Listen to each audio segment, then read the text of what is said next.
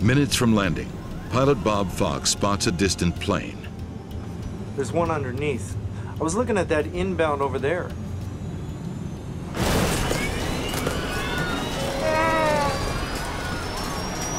Easy, baby, easy, baby. A professional photographer happens to spot Flight 182 in flames. London's Heathrow Airport.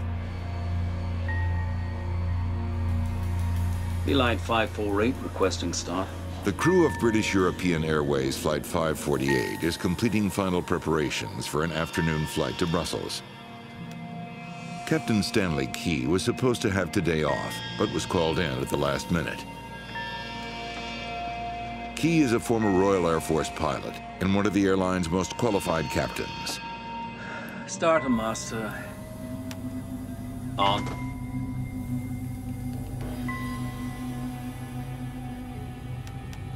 It takes three pilots to fly the plane. Droops down. Jeremy Keighley is the co-pilot. Flaps 20. Simon Ticehurst will help monitor the instruments. Engine 1 start. Engine 1 start.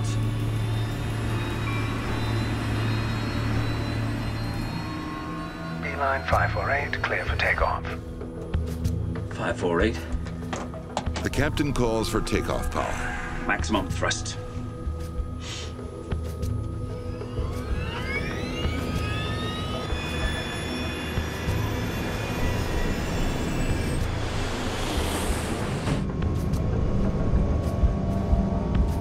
Second Officer Ticehurst monitors the plane's speed.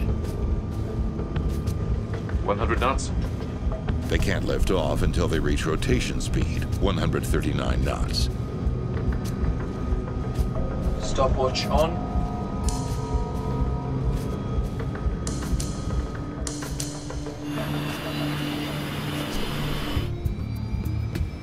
Rotate.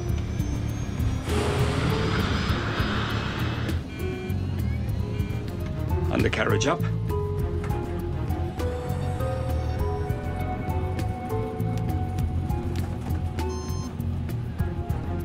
Sixty seconds.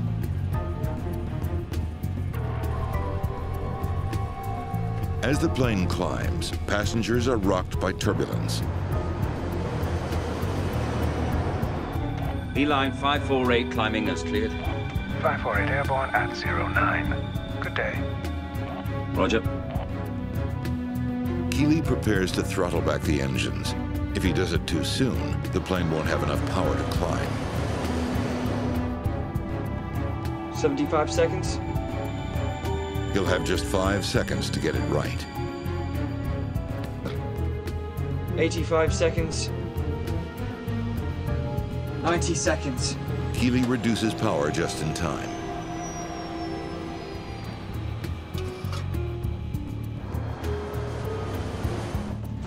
Passing 1,500 feet. The procedure goes well. 548, climb to flight level 60. Squawk 6615. The tower clears them to a higher altitude. Up to 60. Then, What was that? the plane begins to lose altitude.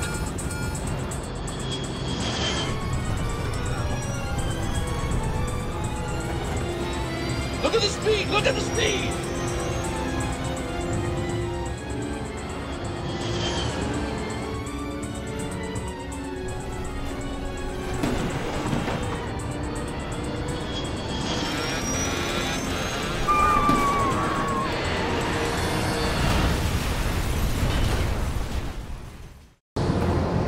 December 28th, 1978. Losing an engine.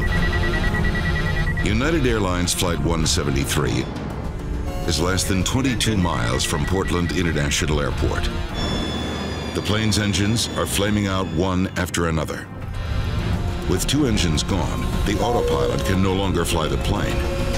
McBroom must get the crippled DC-8 to the airport himself. The engineer struggles to keep the last two engines running. We just lost one and two. Flight 173 has now lost all four engines. With no engines running, backup batteries now provide power to only critical instruments. The 100-ton aircraft is losing more than 3,000 feet of altitude a minute. At this rate, they will be lucky to stay airborne for as long as 90 seconds. Now, Captain McBroom makes a horrifying calculation. I can't make it. The airport is too far away. Okay, declare Mayday.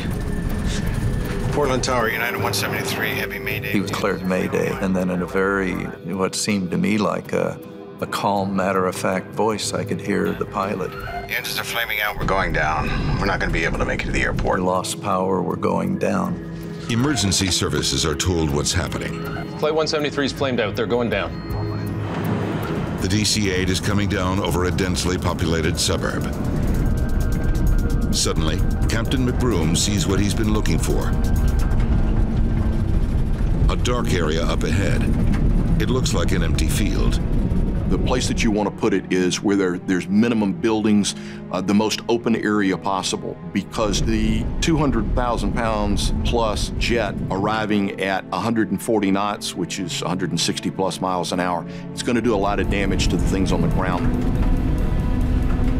Putting the plane on this narrow strip of land is McBroom's best bet. But as he gets closer, he realizes it isn't an open field. I can't make it. It's a heavily wooded suburb, and he's headed straight for it.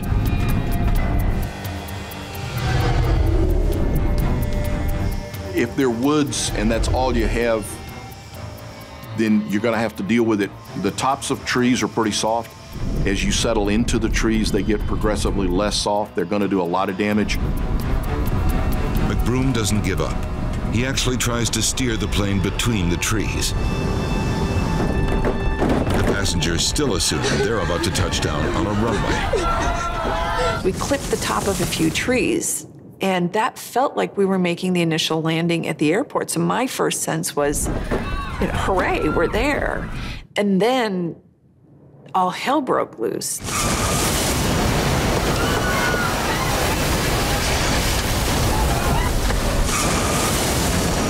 I saw the bright flash out there and, uh, and knew he had gone down.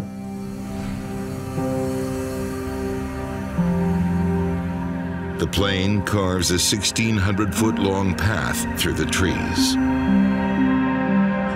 Incredibly, the DC 8 has crash landed in the middle of a major American city without injuring a single person on the ground. Most of the 189 passengers and crew are alive, including Captain Albert McBroom. Los Angeles International Airport.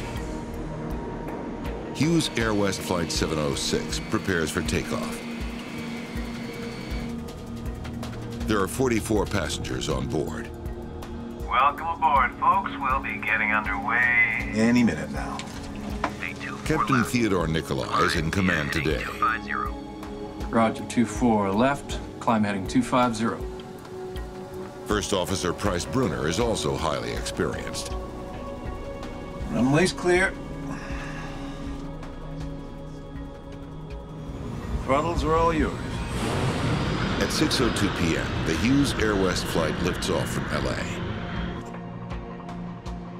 372 miles from Los Angeles at an airbase in Nevada. Marine pilot James Richard Phillips and radar intercept officer Christopher Schiess is one of a group of fighters that's been practicing air intercepts over the western United States. The F-4's high-altitude oxygen system was leaking. So there's no way to fix it at this base? And the mechanics in Nevada couldn't fix it. Sir, it's Lieutenant Schiess. Yes, sir. We'll do. Yeah, they still want us to head back to El Toro. To avoid using the broken oxygen system, just keep it nice and low. They've been ordered to fly at low altitude. At 5.15 p.m., the F-4 takes off. Pilot Rick Phillips cruises lower than he ordinarily would. If it weren't for the oxygen problem, he could fly much higher and clear of commercial traffic leaving Los Angeles.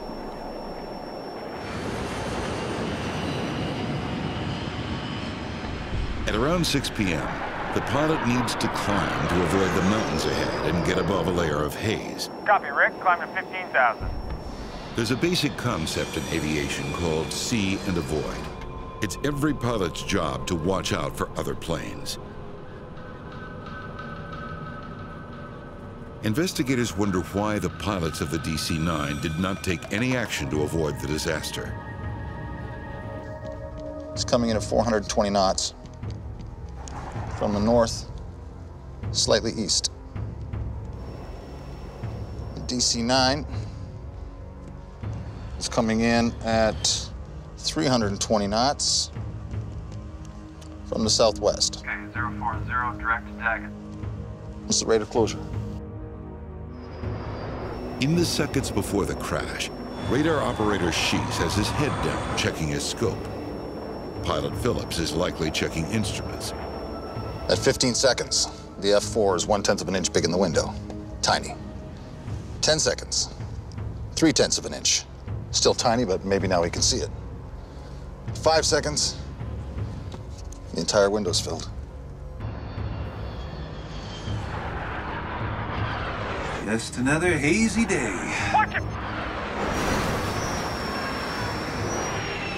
None of the pilots that day had enough time to see the other plane in their path.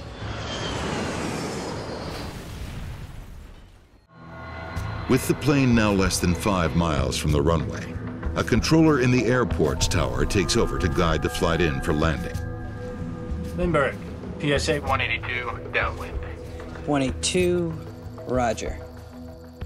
Within the airport traffic area, which is that five-mile radius, the airplanes coming into the airport to land and take off are controlled by that controller. The tower controller is juggling several planes in addition to the PSA 727. PSA 182, traffic 12 o'clock, one mile, a Cessna. Because there's only one runway at Lindbergh, uh, it requires some air traffic control spacing because of the difference in the speeds of the aircraft. PSA 182, cleared to land. 182 is cleared to land. The jets have quite a significantly faster approach speed than the Cessna, so you have to give them more spacing. It's now 9 a.m. Many passengers on Flight 182 are planning to put in a full day's work in San Diego.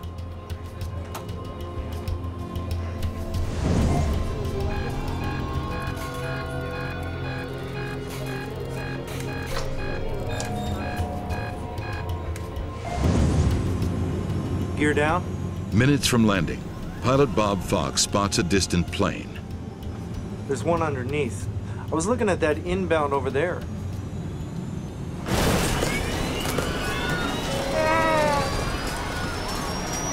Easy, baby, easy, baby. A professional photographer happens to spot Flight 182 in flames. Hey, what do we got here? It's bad. Huh? We're hit, man. We're hit. Talk. We're going down. This is PSA. Okay. We'll call the equipment for you.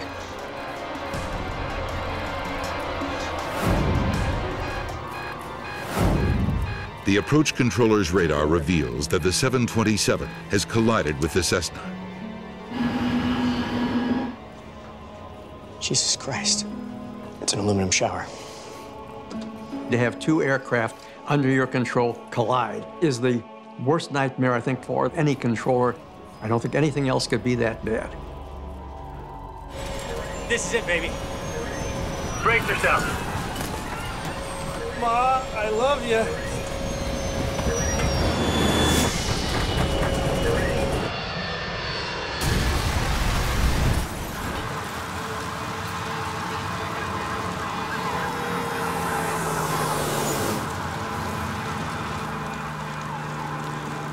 All of a sudden, just went right in.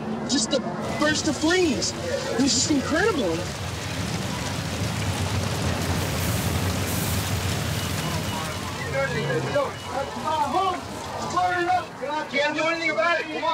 And my hair stood up. on the back of my head when I learned that this crash had occurred.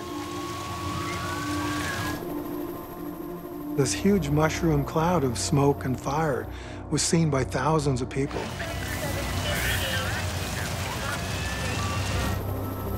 Two planes have collided and fallen from the sky over San Diego. The city is in shock. But the full scope of the tragedy is only beginning to emerge.